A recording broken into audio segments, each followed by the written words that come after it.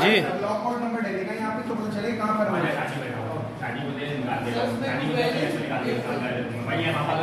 Sir एक book दे दें। ये सारी के सारी पीपल्स पार्टी के लोगों ने आके बुके जो है यहाँ पे ख़त्म कर दी है इस रूम में और प्रिजाइडिंग ऑफिसर साहब भी हैं।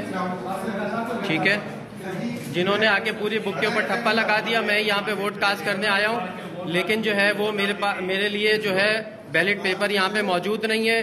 सारे के सारे ठप्पे लगाकर पीपल्स पार्टी वाले जो है वो पुलिस की निगरानी में जा चुके हैं यहाँ पे।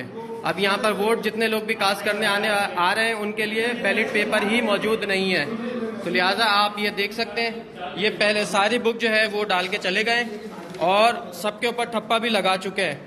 किसी के लिए भी अब जितने भी वोटर जाफ़र तैयार के वोट कास्ट करने आएँगे, उनके लिए यंग सिटीजन स्कूल के अंदर पहले रूम में बैलेट पेपर ही मौजूद नहीं है।